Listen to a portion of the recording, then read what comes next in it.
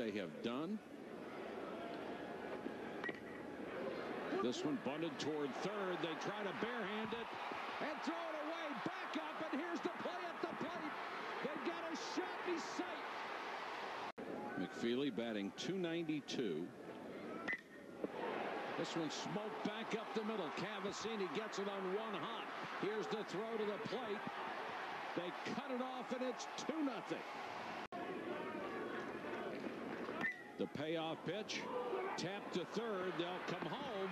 It's a tag play, and they got him. Now they've got a runner hung up between second and third. And they get out of the inning. Holy cow, what a break for Oregon State. North Carolina ran itself right out of the inning. The intentional walk at first. He's going home. He's still at home. Struck him out.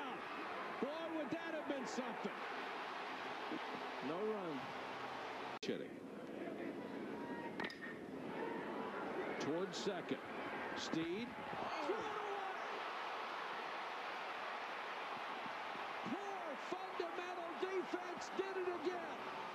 A routine ground ball to second base and Steed threw it wildly.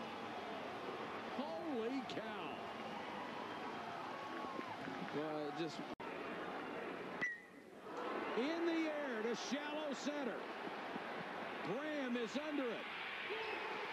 Oregon State wins a national championship.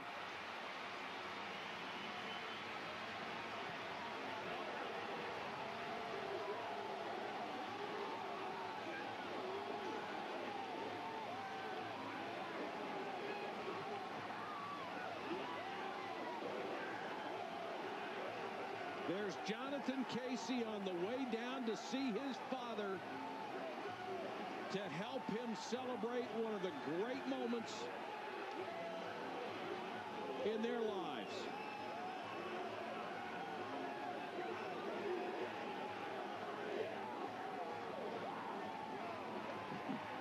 That's great. Wow. And that's tough to take. You've got to hand it to Oregon State. From game one out here when they lost to Miami, they have had their backs to the wall. They've had to play from behind. They have had to survive one elimination game after the other.